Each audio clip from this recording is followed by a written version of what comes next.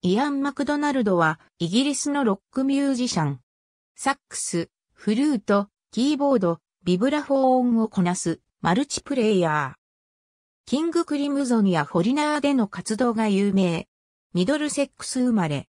元フェアポートコンベンションの女性ボーカリスト、ジュディ・ダイブルと知り合った後、ジュディと共に、ジャイルズ・ジャイルズフリップと合流。その後、ジュディやピーター・ジャイルズの脱退を経て、イアン、ロバート・フリップ、グレッグ・レイク、マイケル・ジャイルズ、イアンの友人である、ピート・シンフィールドという初期のラインナップが揃う。バンド名もキング・クリムゾンとなった。1969年7月、キング・クリムゾンは、ローリング・ストーンズのブライアン・ジョーンズ、追悼興行ハイドパーク、フリーコンサートで前座を務め話題となった後、プログレッシブロック史に残るデビューアルバム、クリムゾン、キングの宮殿を発表。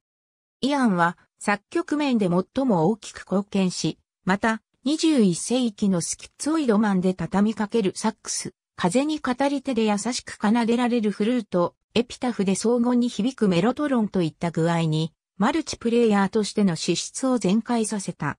しかし、1969年末には、マイケル・ジャイルズともどもバンドを脱退し、マクドナルドジャイルズを結成。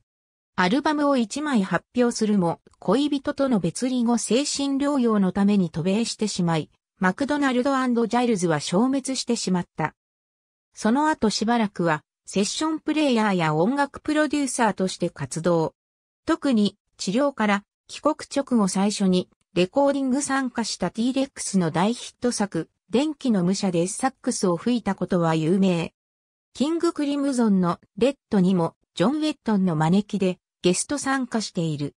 プロデューサーとしては、ダリル・ウェイズ・ウルフ、カニスループスや、フループ、東西仮面舞踏会、ファイヤーバレーのハゲ山の人よ、等を手掛けた。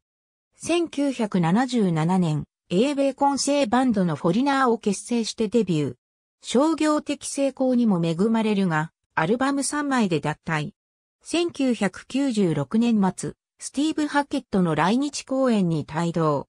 クリムゾン・キングの宮殿や風に語り手も演奏された。1999年、初のソロアルバム、ドライバーズ・アイズを発表。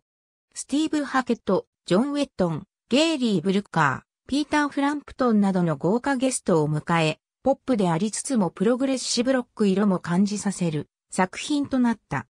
その後、キング・クリムゾンの元メンバーたちとにファーストセンチュリー、スキッツオイドバンドを結成し、ライブ活動を行っていたが、ドラマー、イアン・ウォーレスの病死により、2007年以降バンドは活動を停止している。2013年からは、ハニーウエストというバンドに参加し、ニューヨークでライブ活動を行っている。ありがとうございます。